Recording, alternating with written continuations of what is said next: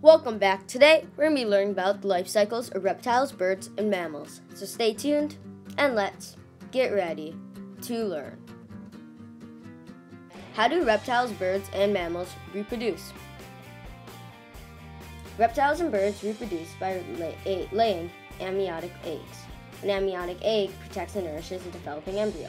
An embryo is a fertilized egg that is going through the early stages of growth. An amniotic egg contains membranes that have different purposes. One membrane helps get rid of waste. Another provides a large food supply to support the developing embryo. Small openings in the shell allow oxygen to enter the cell and carbon dioxide to escape. Reptile eggs have soft, leathery shells. Inside the egg, the embryo develops until it re- resembles an adult. Then it hatches out. Few reptile parents care for their young. By the time a young reptile hatches, it is capable of caring for itself. Bird eggs, which I have a photo of, have hard shells. When young birds hatch, they are not yet able to care for themselves. One or both parents feed and care for the newly hatched offspring until they are strong enough to fly and find food. Almost all mammals give birth to live young. All mammals produce milk for feeding their young.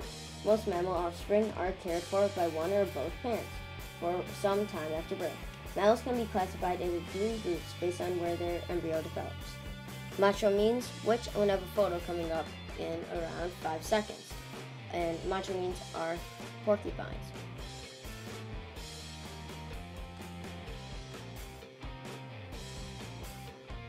They lay eggs. Marsupials carry the developing embryo in a pouch on the outside of the body. In placental mammals, the embryo develops inside the mother's body where it is nourished by a placenta. Hope you guys enjoyed. Make sure to stay tuned for lesson number 20, reproduction in insects and amphibians. Like always, like and subscribe. Till next time, peace out.